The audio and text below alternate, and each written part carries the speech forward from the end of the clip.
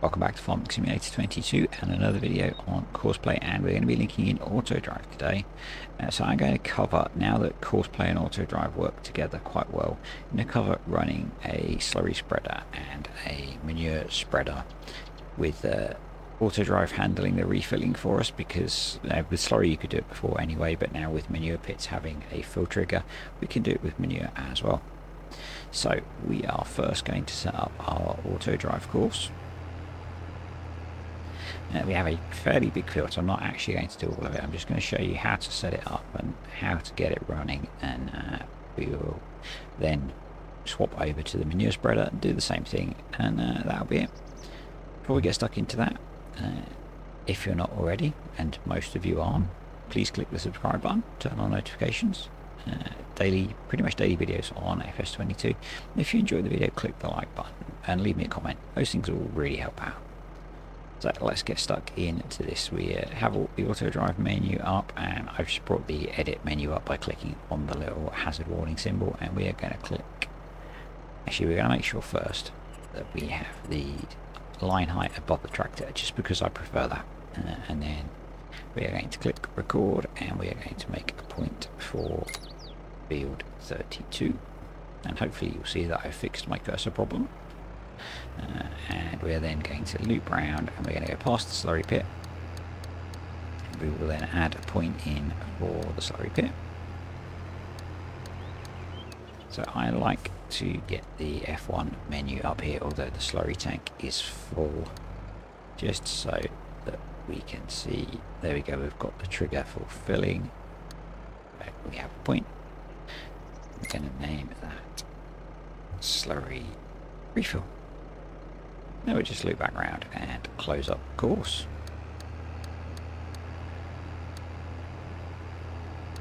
Uh, and you can see there we've got the trigger for the manure pit which we'll be using after this. Obviously if you've got a, a real farm set up your drive between your fields and your slurry point might be longer than this. So the next thing we need to do is set up Courseplay um, and we are We'll just, actually we'll set up auto drive first. So we are on load mode. We are, our target is field 32. Our fill up point is slurry refill and we are filling up with slurry. Uh, and then we'll open up the Courseplay menu. I believe there is a course loaded already, so I'm just going to clear that off. And we will create our job. Got course Courseplay fieldwork selected. We are going to select field 32 put our two targets in the field. You can see it's highlighted our field that we are using. Open up the uh, course generator. We'll do two headlands. We'll start working on the headlands. We'll do smooth corners. The, the field margin thing I think is a bug from the latest update. So we'll just set that to zero. And we'll generate our course. There we go. So we close that. We can close that. We'll enable Courseplay there. And I'm just going to drive down to the first waypoint. And off we go. And we just need to let this run down the uh, first tank of slurry. And then what will happen is auto drive will take over, drive us back over to the slurry point, refill, and then come back to where we were on the field. At least that's the theory. Um, tested this a few times and generally it works. But, you know, it's auto drive and course play, and I'm doing this live rather than recording the voiceover afterwards. So we'll see how it goes, shall we? Um, I did find that I was initially selecting the wrong mode auto drive and that was stopping it working. The, uh, the tractor would just drive straight past the field trigger and then nothing could happen, which was quite frustrating.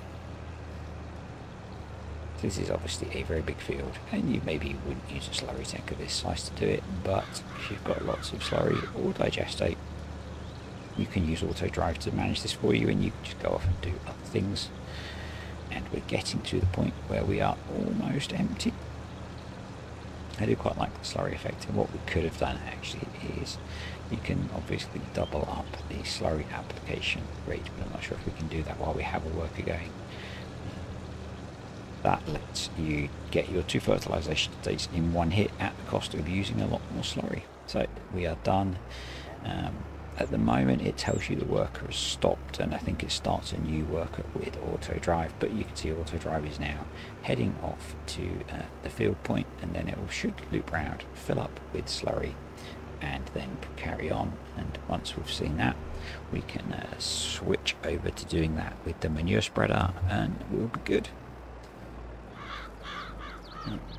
it's really cool that we're getting some of this integration going on and the new features with Courseplay and auto drive and stuff. And I think we're we're not far off being where we were with FS19 already. Um, the things that I think are missing from Courseplay is the ability to uh, do compact a pit. So we should just fill up here as we, uh, we get quite slow as you come up to the trigger but we should fill up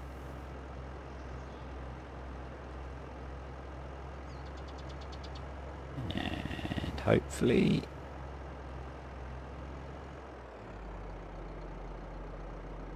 And we are not filling up.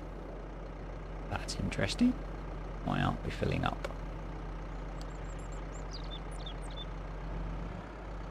So we will just push that forwards a little bit back up. Now because I've had to stop it we're going to change Courseplay to the last waypoint and then we will take that off edit mode. Still got the little Courseplay icon highlighted and we'll just hit play again. And hopefully this time we will fill up. And for some reason we are not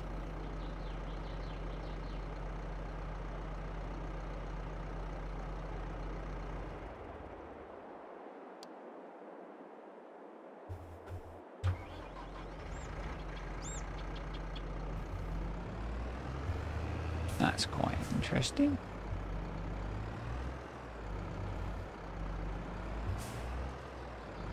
Why don't you want to fill up?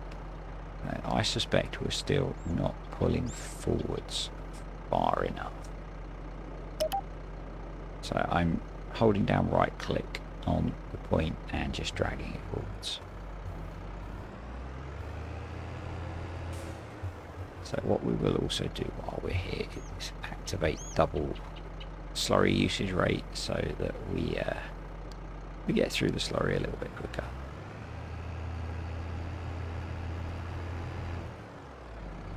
Okay, so we're going to do a lap now. So this is probably the downside of me setting this course up live and not having it pre-recorded, but equally this is what happens when you're going to be using auto drive. You need to get your course set up and do a bit of refinement. If I had this all pre-recorded, you'd probably think, wow, that, that should be really easy and you'll try it and you'll get stuck. So hopefully this time we will uh, pull forwards and start filling up with slurry. Just get the edit menu up. Come on. Come on. There we go. So yeah, I just didn't have this point far enough forwards. Very quick fill there, and we should now go around and continue from the last waypoint. Hopefully there is a chance we'll go back to the first one. Um, I found sometimes that happens the first time you get everything working, but we'll see. We'll see how we get on sometimes I feel a bit frustrated that these tutorials don't quite work as they, you know, they're not the slickest in the world sometimes, but they're the reality of using Courseplay and auto drive together. So hopefully guys appreciate showing some of that. Um, see, we are now heading back over the field, almost following our tracks. And looks like we should link up with our last waypoint.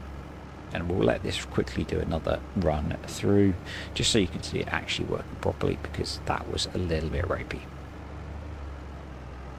and then we'll do some manure and it's just it, honestly it's pretty much the same process with manure but I'll show it anyway just so you get the idea of how to set it up I guess the big difference with FS22 is that the manure pits now have a refill trigger so you don't need to set up course play or something to fill it or have belts waiting you can just drive up and hit R um, So as I was saying, the bit that's missing so far, I think, from course play is that what I've just mentioned, actually running a front loader or a wheel loader or a telehandler to fill something up. I didn't do much of that in FS19, but Argsy Gaming had some brilliant tutorials on that on his uh, Western Australia playthrough. Um, and the other one is pit compacting. So I used to use courseplay a fair bit later on in my gameplay for doing pit compacting. You could either do a really simple backwards and forwards course, pre-recorded, and like could you, like you would use it as a karting course in the old version of courseplay. Um, that worked really well, or the proper um, compacting and rolling and leveling use it with that mode in courseplay. Um, those are the things that I think, um, certainly things I used in 19 that are missing that would be really nice to have back because compacting a pit sometimes is a bit of a pain. Um, so yeah, that would be nice to come back. I think auto drive, I think is close to being good good enough for me. I don't mean that to sound bad. Um, it does everything that I want pretty much. You, if you watched the sugarcane video, you will have seen that it struggled a bit with that, and I think it struggles a bit with potato harvesters, but um, probably you could just cart yourself. And if you're going to be doing a big potato harvest you probably want courseplay running a couple of potato harvesters if I'm honest. So you, you're probably going to end up driving that yourself carting so we're going to see now if I've got my fill up set right. Obviously if you're playing your own proper save game doing this, once you've got this fill up point set right and as you build your auto drive network, all this stuff will become almost second second nature and fairly easy. You'll, you'll pick your field target, you'll pick your slurry field point and set auto drive and courseplay off and they will just happily work away for you until you run out or um, your field's done. It's, uh, it's that simple really. It's, it's just a really, if you're running a big farm, it's a really nice way of getting some of these jobs done. Um, or if you've just got a lot going on, you need to get a field fertilised, you stick courseplay and auto drive on to uh, to get things done. Or if you're running dairy cows and your slurry pit is full and you just need to get rid of the slurry, chuck it on a grass field. Um, pick a contract up like I did on Elm Creek uh, on my Ravenwood dairy farm. Uh, but yeah, you know, stick with double application rate, go and chuck it on a grass field you need to keep that slurry pit from filling up to keep the milk production going. So there we go, we are refilling and uh, we should then run back over to where we were. There's been a bit of a, a wave of courseplay videos and auto drive videos and that's as the recent updates have just added functionality and so I'm picking, you know, as this new functionality gets added, I'm going to do videos on it.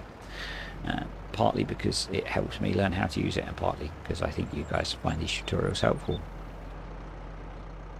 So the next one I have coming up is uh, forage wagons, and people have asked for that a few times, and uh, the functionality is there in game now, and it links up with auto drive. So what you can do is run a mower and a forage forage wagon on the back, or you could mow it and then run a forage wagon, and you can get auto drive to uh, take it to the pit for you. So that should be tomorrow's video, depending on which order I release things. Um, it's the next auto drive courseplay video I'm going to be recording, so it'll be out in a day or so anyway. Uh, I'm really keen to get stuck into Calmsden with the update having come out, I'm, uh, so I may jump to do that next. We'll see. Uh, and the Let's Plays have kind of dropped off a bit in the last few weeks, and that's just because all these tutorials I think are, are really useful. They're really helping my channel grow, and getting views up and stuff, and I think people want them. So the, the Let's Plays are definitely still going to be coming. They're just going to be coming slightly less often. So there we go, we are running back with the slurry. So I'm going to reset things and grab the manure spreader and we'll have a look at that. So we're back, everything is reset and we have something slightly bigger um, and not a full spreader this time. So we're going to need to re-record the course and reset things up and then we will uh, just demonstrate it with a manure spreader.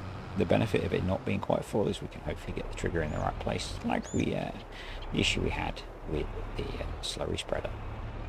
So, uh, auto drive menu, hit the triangle to bring up edit mode. Just going to check because I didn't save the game so I could reset it. I just want to put them back to above tractor just because that's what I prefer. So back into edit mode, hit record, and we're going to drop the waypoint for field 32 forwards a bit. And loop round. bring the F1 menu up to check that we can refill. There we go, and I'm actually just going to drive a little bit further forwards and we'll call that manure fill. Close the F1 menu now. Just round and join this up to the end. Obviously on a proper Let's Play you probably have a big auto drive network. Now, you could use something like this if you had an auger wagon that was full of manure to fill up with, maybe. Uh, so just uh, stopped and then clicked on, sorry, left clicked on the end last point we recorded and then left clicked on where we want to join it. Then we'll turn off record mode. So sometimes I don't cover those bits with auto drive. Um, tend to assume people know the basics and maybe I shouldn't.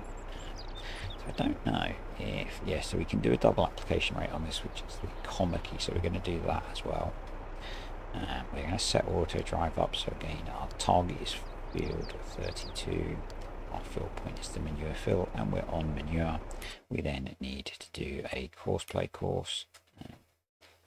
So, and actually you can see now that the auto drive route is shown on the menu, and you can see the other bits of the auto drive network as well.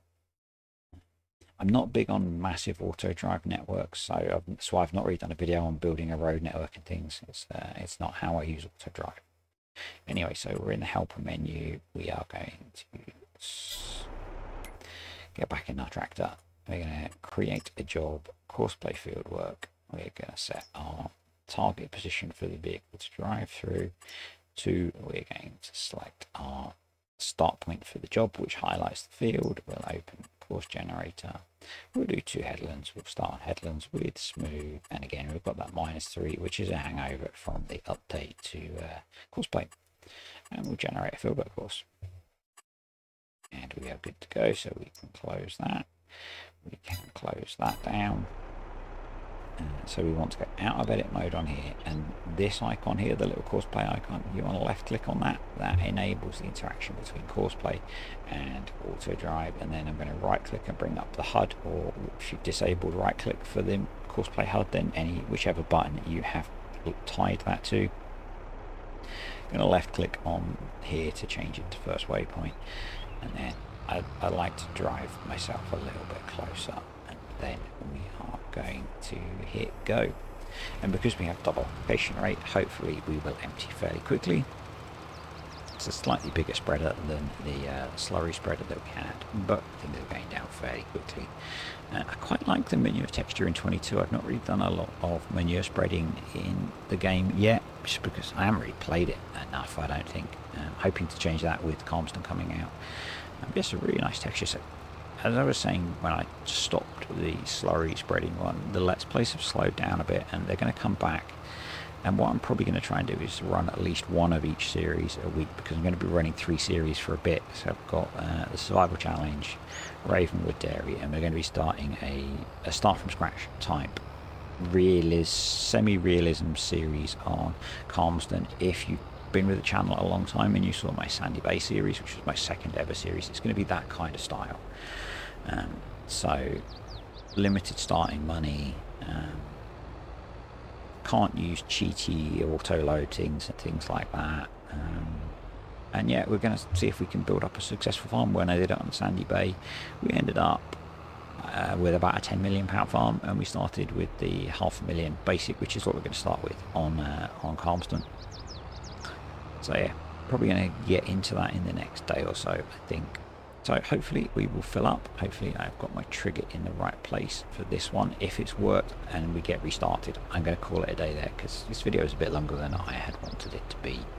It's the downside of doing things in real time, I guess. There we go. We are refilling from the manure pit.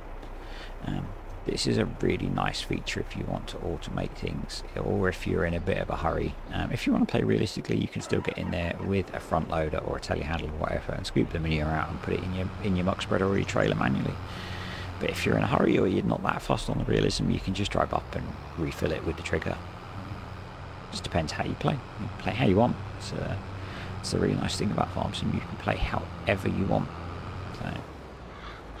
So we should now just run back to where we were, hopefully, and uh, we'll get going. This one is hopefully going to be a bit slicker. The only potential issue I can see is it wanting to drive to the first waypoint for the first restart. Um, but it looks like we're not doing that. So it looks like we are going to be okay for this one. It would be nice if you moved over a little bit. There we go. Looks like we have nailed this one. So if you found this video useful, and you listened to my message at the start, and you still haven't done it, click subscribe and turn on notifications. It's really simple. It really helps me out. It makes me 10% less grumpy for each person that does it.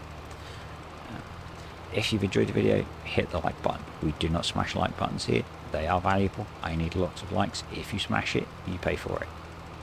And if you've got questions and stuff, leave me a comment down below, or just if you enjoyed the video and you found it useful, leave me a comment. I try to reply to pretty much every comment I can. If you comment on a video way after it's released, sometimes I can't remember what your comment relates to, and I always want to sit and watch a 20 minute video of my own to uh, be able to answer your comment. So if, if you're commenting in, you know, fairly soon after the video is released, I'll pretty much always reply.